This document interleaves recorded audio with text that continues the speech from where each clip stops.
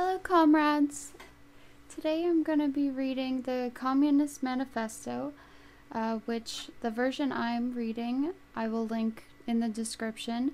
Uh, it's free on Marxist.org, as will pretty much all of anything I'm going to be reading. Um, and so let's get into it. Uh, so I'm starting at the section called Manifesto of the Communist Party.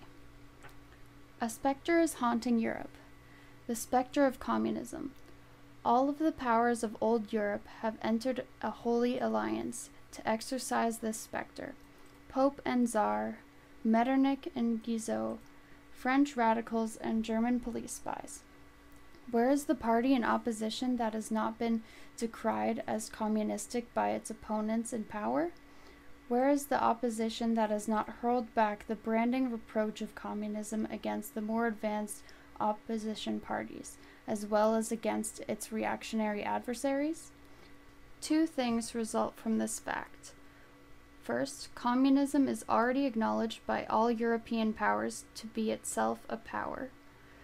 Second, it is high time that communists should openly, in the face of the whole world, publish their views their aims, their tendencies, and meet this nursery tale of the specter of communism with a manifesto of the party itself. To this end, communists of various nationalities have assembled in London and sketched the following manifesto to be published in English, French, German, Italian, Flemish, da- and Danish languages. All right, now we're getting into part one, called Bourgeois and Proletarians. The history of all hitherto existing society is the history of class struggles. Freeman and slave, patrician and plebeian, lord and serf, guildmaster and journeyman, in a word, oppressor and oppressed, stood in constant opposition to one another, carried on an uninterrupted, now hidden, open fight, a fight that each time ended either in a revolutionary reconstruction of society at large or in the common ruin of the contending classes. In the earlier epochs of history, we find almost everywhere a complicated arrangement of society into order, various orders, a manifold graduation of social rank. In ancient Rome, we have patrician knights, plebeians, slaves. In the Middle Ages, feudal lords, vassals, guild masters, journeymen, apprentices, serfs. In almost all of these classes again subordinate gradations. The modern bourgeois society that has sprouted from the ruins of feudal society has not done away with class antagonisms. It has but established new classes, new conditions of oppression, new forms of struggle in place of the old ones. Our epoch, the epoch of the bourgeoisie, possesses, however, this distinct feature. It has simplified class antagonisms. Society as a whole is more and more splitting up into two great hostile camps, into two great classes directly facing each other bourgeoisie and proletariat. From the serfs of the Middle Ages sprang the chartered burghers of the earliest towns. From these burgesses, the first elements of the bourgeoisie were developed. The discovery of America, the rounding of the Cape, opened up fresh ground for the rising of the bourgeoisie the East Indian and Chinese markets, the colonization of America, trade with the colonies, the increase in the means of exchange in the commodities generally gave to commerce, to navigation, to industry, an impulse never known before, and thereby to the revolutionary element in the tottering feudal society a rapid development. The feudal system of industry in which industrial production was monopolized by closed guilds, now no longer sufficed for the growing wants of the new markets. The manufacturing system took its place. The guild masters were pushed on one side by the manufacturing middle class. Division of labor between different corporate guilds vanished in the face of division of labor in each single workshop. Meantime, the markets kept ever growing the demand ever rising. Even manufacture no longer sufficed. Thereupon, steam and machinery revolutionized industrial production.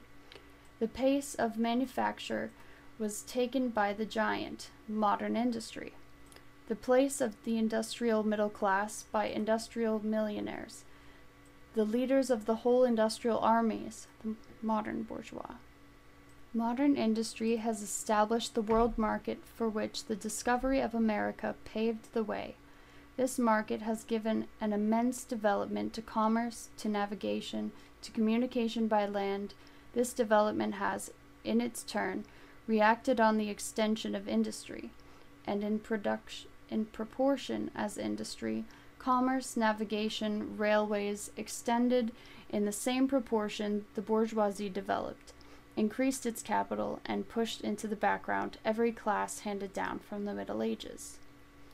We see, therefore, how the modern bourgeoisie is itself the product of a long course of development of a series of revolutions in the modes of production and of exchange.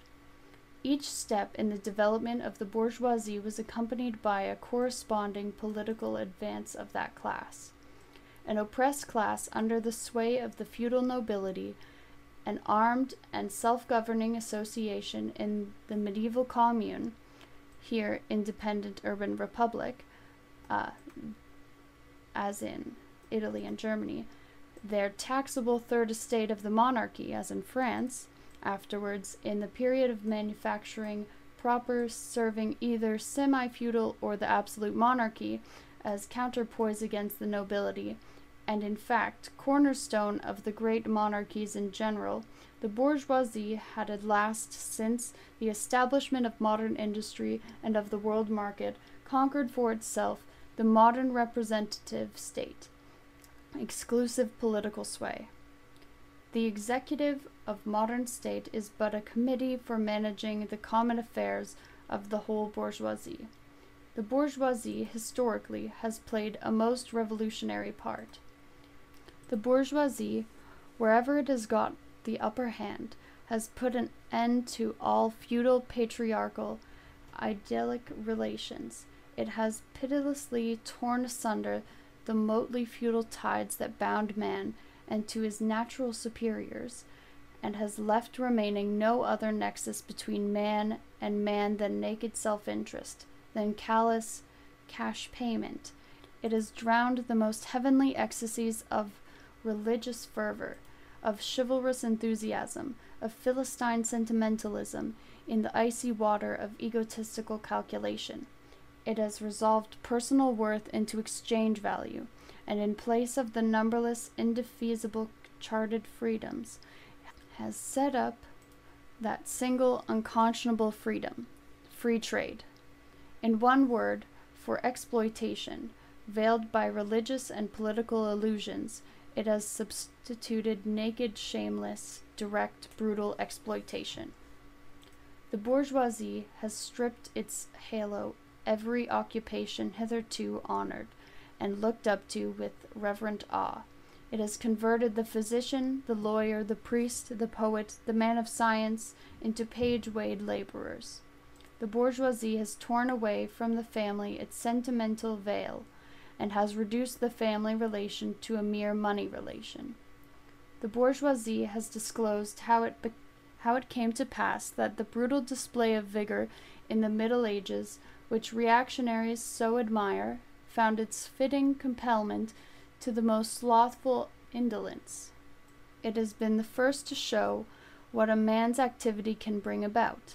It has accomplished wonders far surpassing Egyptian pyramids Roman aqueducts, and Gothic cathedrals. It has conducted expeditions that put in the shade of all former exoduses of nations and crusades. The bourgeoisie cannot exist without constantly revolutionizing the instruments of production, and thereby the relations of production, and with them the whole relations of society. Conservation of old modes of production in un- unaltered form was, on the contrary, the first condition of existence for all earlier industrial classes.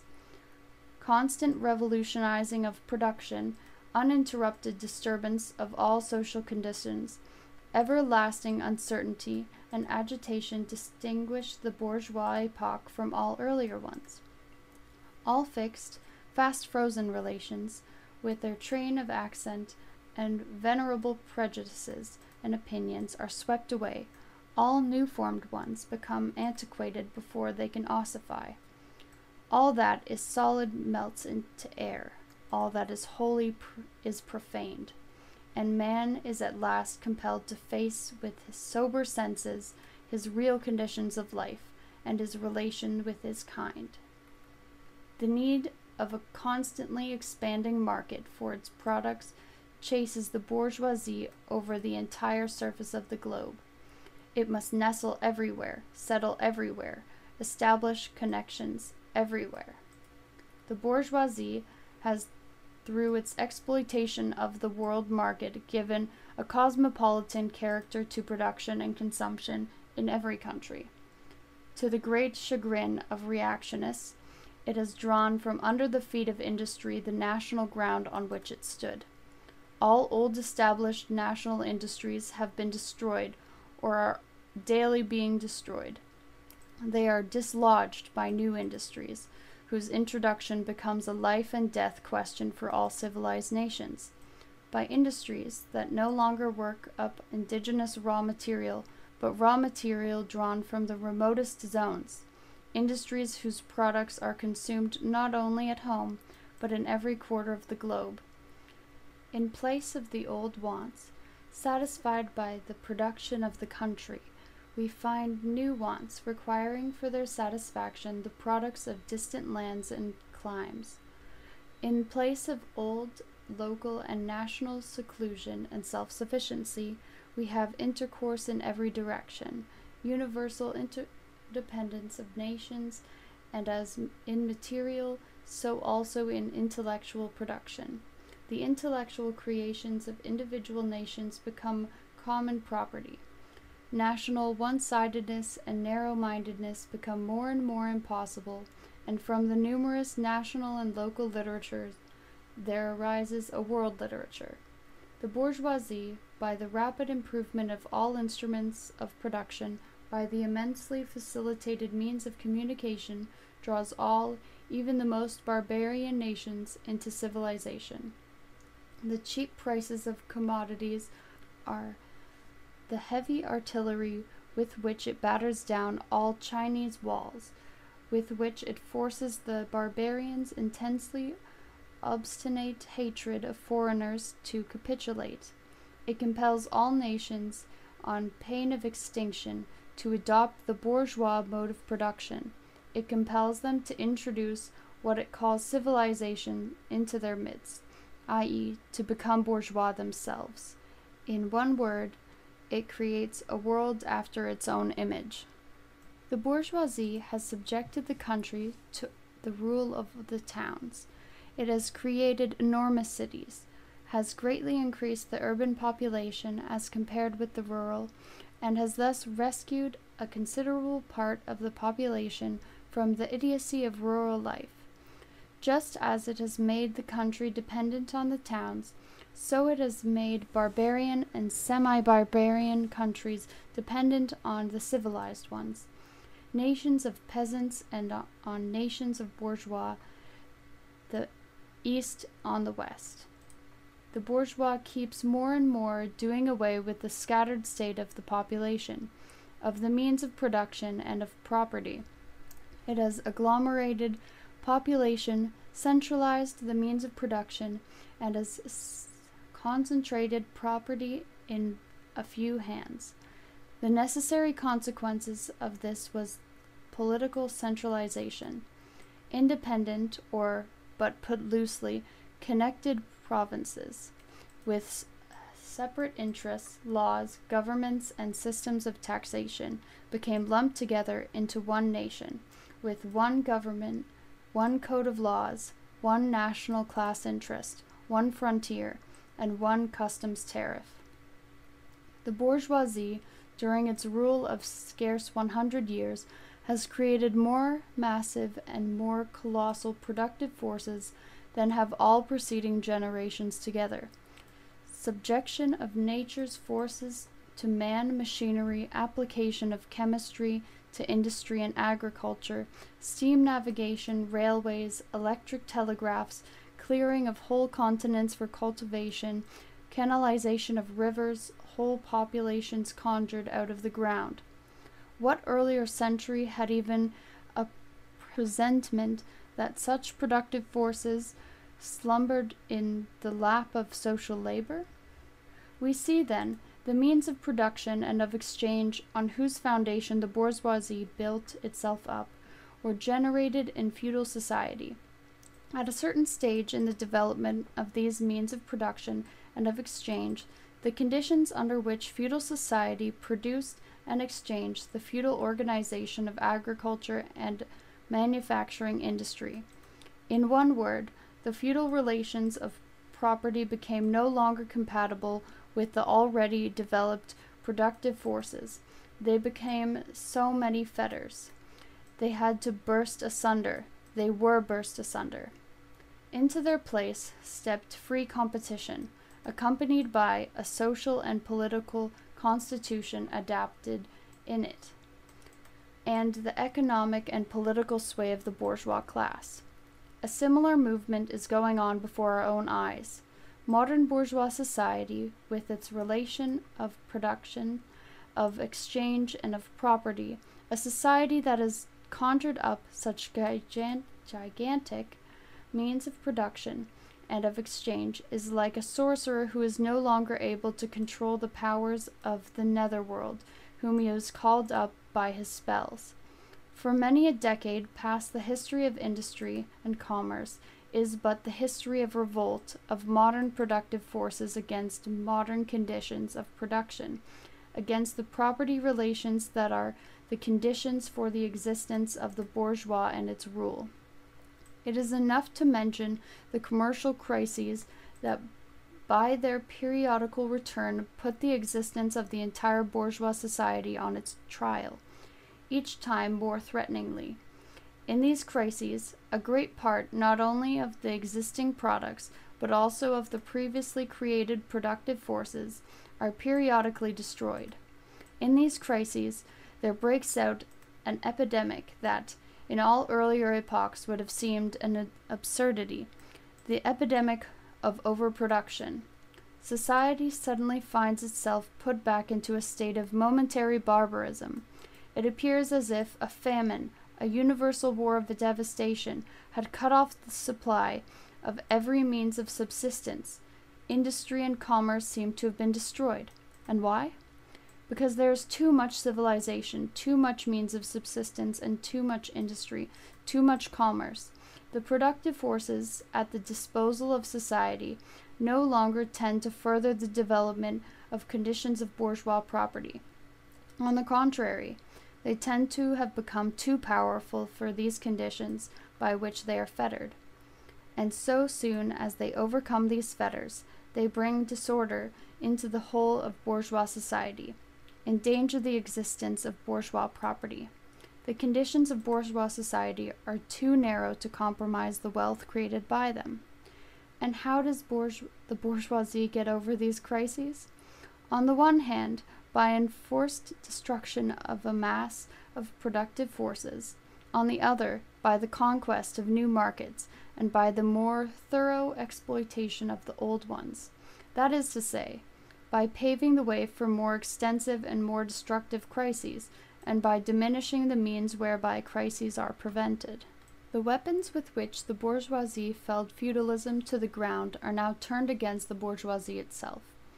But not only has the bourgeoisie forged the weapons that bring death to itself, it has also called into existence the men who are to wield those weapons, the modern working class, the proletarians.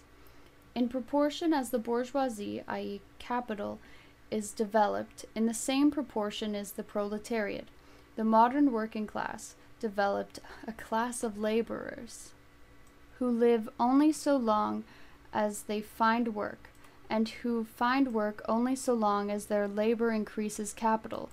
These laborers, who must sell themselves piecemeal, are a commodity, like every other article of commerce, and are consequently exposed to all the vicissitudes of competition, to all the fluctuations of the market.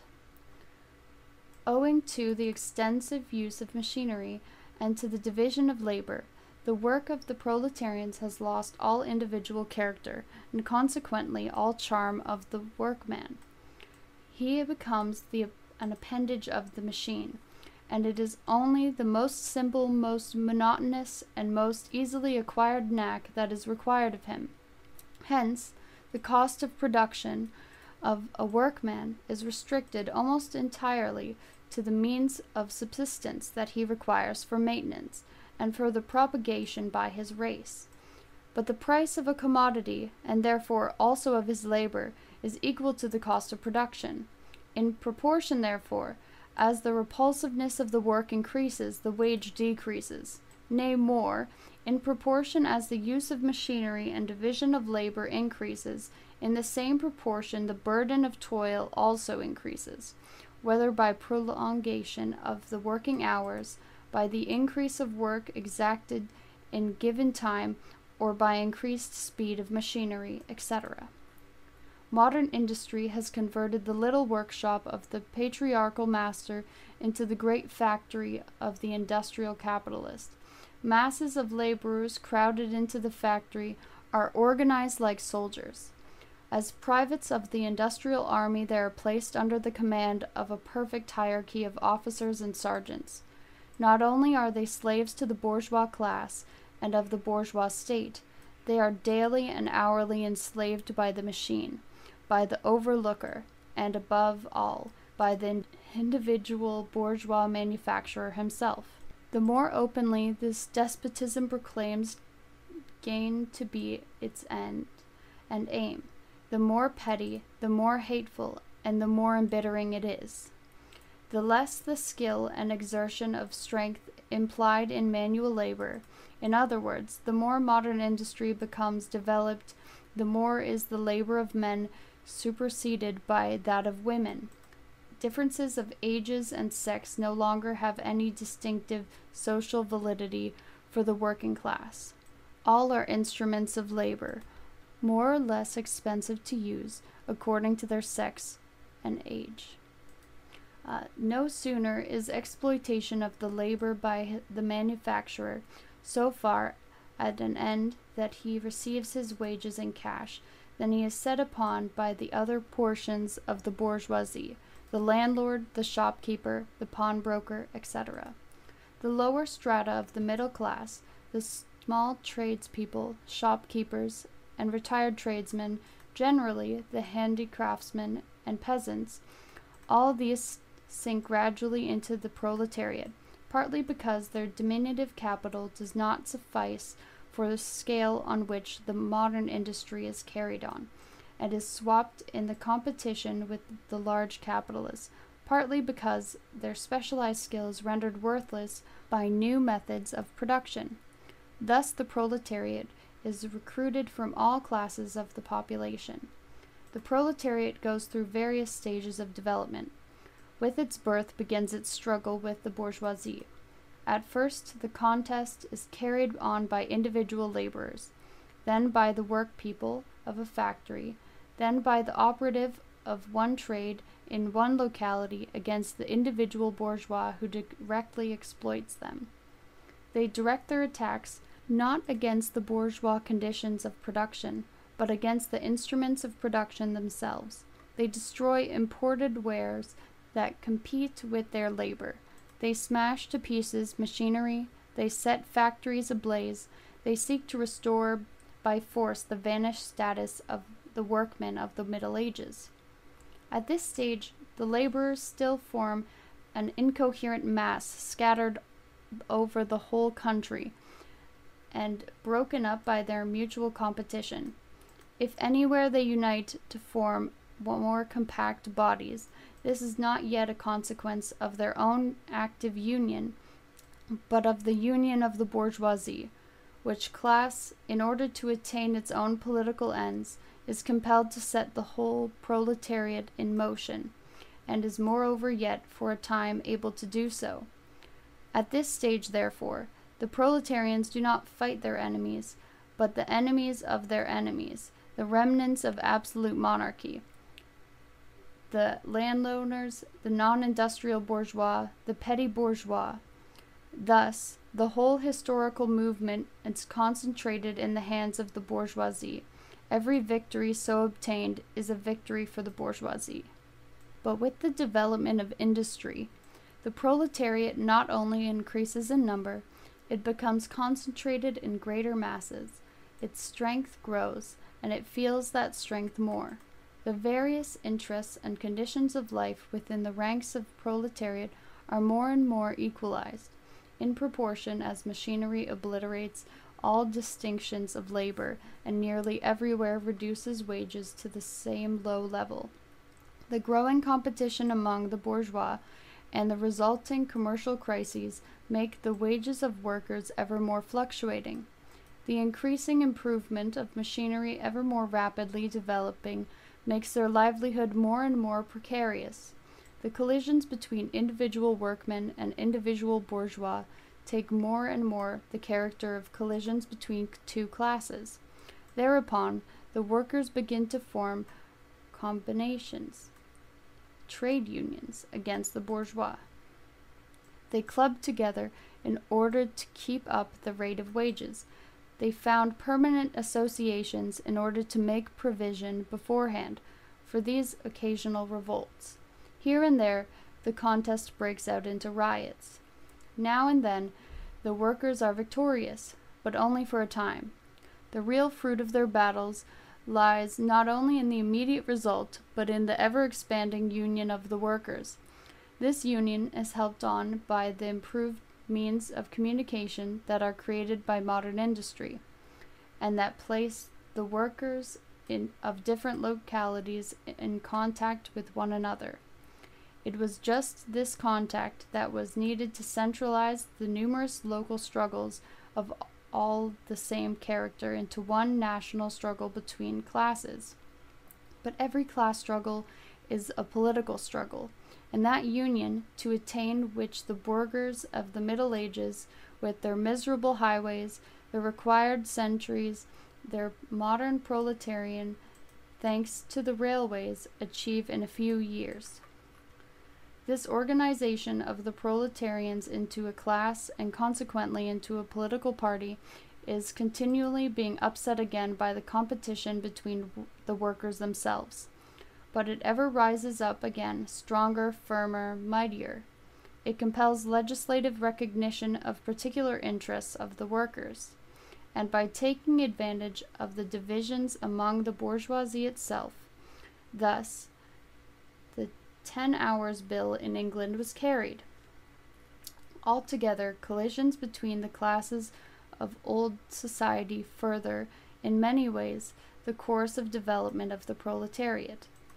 The bourgeoisie finds itself involved in a constant battle, at first with the aristocracy, later on with the portions of the bourgeoisie itself, whose interests have become antagonistic to the progress of industry at all time with the bourgeoisie of foreign countries. In all these battles, it sees itself compelled to appeal to the proletariat, to ask for help, and thus drag it into political arena. The bourgeoisie itself, therefore, supplies the proletariat with its own elements of political and general education. In other words, it furnishes the proletariat with weapons for fighting the bourgeoisie. Further, as we have already seen, entire sections of the ruling class are, by the advance of industry, precipitated into the proletariat, or are at least threatened in their conditions of existence. These also supply the proletariat with fresh elements of enlightenment and progress. Finally, in times when the class struggle nears the decisive hour, the progress of dissolution going on within the ruling class in fact within the whole range of old society, assumes such a violent, glaring character that a small section of the ruling class cuts itself adrift and joins the revolutionary class, the class that holds the future in its hands, just as, therefore, at an earlier period, a section of the nobility went over to the bourgeoisie. So now a portion of the bourgeoisie goes over to the proletariat, and in particular, a portion of the bourgeois ideologists who have raised themselves to a level of comprehending theoretically the historical movement as a whole. Of all the classes that stand face to face with the bourgeoisie today, the proletariat alone is a really revolutionary class. The other classes decay and finally disappear in the face of modern industry. The proletariat is its special essential product. The lower middle class, the small manufacturer, the shopkeeper, the artisan, the peasant, all these fight against the bourgeoisie to save from extinction their existence as fractions of the middle class. They are therefore not revolutionary, but conservative. Nay, more, they are reactionary, for they try to roll back the wheel of history. If by chance they are revolutionary, they are only so in view of their impending transfer into the proletariat. They thus defend not their present, but their future interests. They desert their own standpoint to place themselves at that of the proletariat. The quote unquote dangerous class, or in brackets lumpen proletariat, the social scum, that passively rotting mass thrown off by the lowest layers of old society, may here and there be swept into the movement by proletarian revolution. Its conditions of life, however, prepare it for more the part of a bribed tool of reactionary intrigue. In the condition of the proletariat, those of old society at large are already virtually swamped. The proletarian is without property. His relation to his wife and children has no longer anything in common with the bourgeois family relations. Modern industry, labor, modern subjugation to capital, the same in England as in France, in America as in Germany, has stripped him of every trace of national character. Law, morality, religion are to him so many bourgeois prejudices, behind which lurk in ambush just as many bourgeois interests. All the preceding classes that go the upper hand sought to fortify their already acquired status by subjugating society at large to their conditions of appropriation.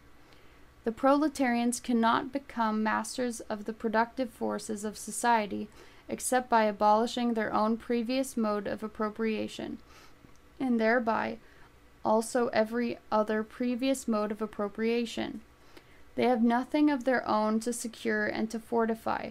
Their mission is to destroy all previous securities for and insurances of individual property. All previous historical movements were movements of minorities, or in the interest of minorities. The proletarian movement is the self conscious, independent movement of the immense majority, in the interest of the immense majority. The proletarian, the lowest stratum of our present society, cannot stir, cannot raise itself up without the whole superincumbent strata of official society being sprung into the air. Though not in subsistence, yet in form, the struggle of the proletariat with the bourgeoisie is at first a national struggle. The proletariat of each country must, of course, first of all settle matters with its own bourgeoisie. In depicting the most general phases of the development of the proletariat, we traced the more or less veiled civil war raging within existing society up to the point where that war breaks out into open revolution, and where the violent overthrow of the bourgeoisie lays the foundation for the sway of the proletariat. Hitherto, every form of society has been based, as we have already seen, on the antagonism of oppressing and oppressed classes. But in order to oppress a class, certain conditions must be assured to it under which it can at least continue its slavish existence. The serf in the period of serfdom raised himself to membership in the commune, just as the petty bourgeois, under the yoke of the feudal absolutism, managed to develop into a bourgeois. The modern laborer, on the contrary, instead of rising with the process of industry, sinks deeper and deeper below the conditions of existence of his own class. He becomes a pauper, and pauperism develops more rapidly than population and wealth. And here it becomes evident that the bourgeoisie is unfit any longer to be the ruling class in society.